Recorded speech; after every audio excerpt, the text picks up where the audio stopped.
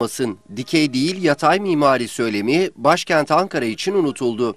Ankara Büyükşehir Belediyesi'nin Ego hangarları olarak bilinen bölümüne Çevre Bakanlığı onayıyla Avrupa'nın en yüksek binalarının, alışveriş merkezlerinin ve otellerin yapılması planlanıyor. Bu iddia meclise taşındı. Kamuoyuna yansıyan haberle ilgili bağımsız milletvekili Aylin Nazlı Aka önerge verdi.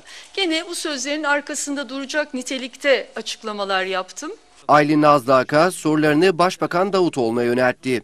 Bağımsız milletvekili Başbakan'a kendi sözleri olan bir daha şehirlere hançer gibi saplanan binalar istemiyoruz açıklamasını hatırlattı. Aylin Nazlı Aka Başbakan'dan ranta dur demesini istedi.